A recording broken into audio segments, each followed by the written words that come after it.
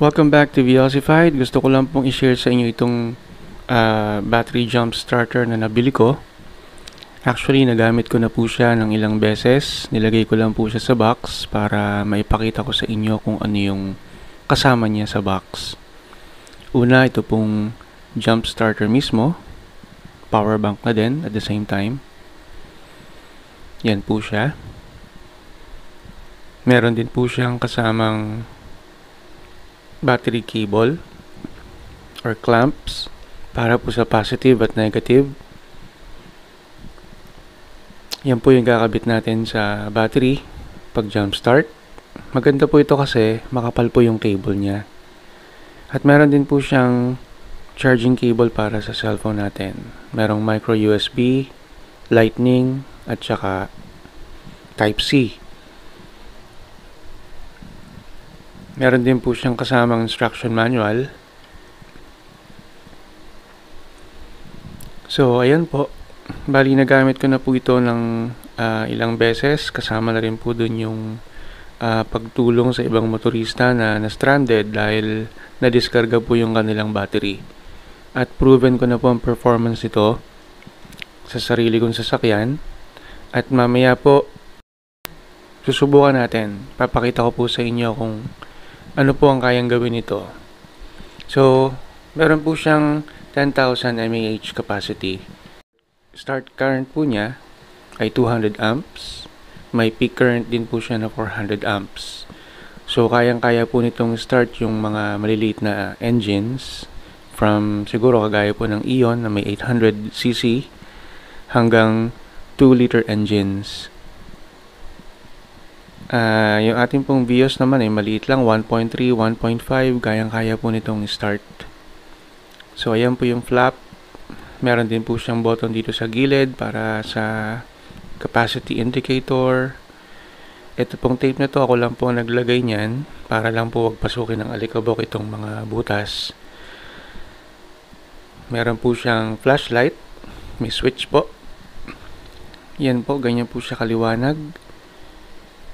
Malaking bagay po ito para sa emergency situations kung sakaling masiraan po tayo ng gabi. At pwede rin po siyang gamiting emergency flashlight kung sakaling mag-brown out sa mga bahay natin. So, ganyan po siya kaliwanag.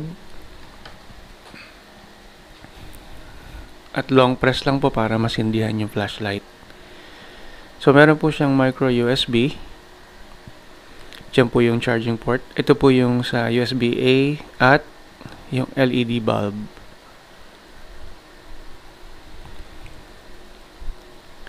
Ang drawback lang po or ang con ko dito ay yung outer uh, plastic niya. Medyo cheap looking pero ang mahalaga naman po yung kanyang function. So test po natin yung kanyang charging uh, capability. Yan. Nagcha-charge naman po siya, kaya po niyang punuin ito ng ilang ulit dahil 10,000 mAh po ang capacity, capacity nito.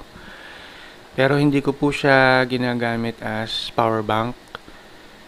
Naka-reserve po siya as jump starter lang. Tuwing umaalis po ako, daladala ko po ito para kung sakaling madiskarga po yung battery for whatever reason, eh hindi po ako ma-stranded. Although, manual car naman po yung gamit ko so pwede pong magpa push start. Pero hindi po laging may pwedeng magtulak. Kaya mas mabuti na po yung naka-reserve po siya. So maganda po yung clamp dito kasi malakas po yung spring. Kaya kapit na kapit. Mamaya po papakita ko sa inyo kung kaya ba nitong start yung ating Vios kahit disconnected siya sa battery Okay, so yan lang po yon. Eh, simulan na po natin yung testing. Okay, so dito po, di-disconnect ko po yung negative terminal ng battery. Actually, yung negative cable terminal. Para po malaman natin kung kakayanin siyang i-start kahit hindi siya nakakabit sa baterya. So, hindi ko po ito nire-recommend under normal uh, circumstances.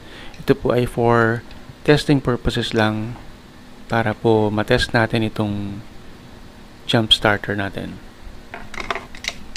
So, kabit po natin to dito. Yan. At yung red cable para dito po sa positive. Hanap lang po tayo ng solid na connecting point. At ito naman po para dito sa negative.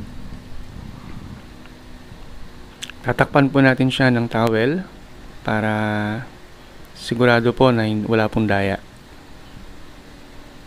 Yan. So, pag na-start na po natin tong uh, makina, papatayin ko na rin po agad para hindi masunog yung ating jump starter.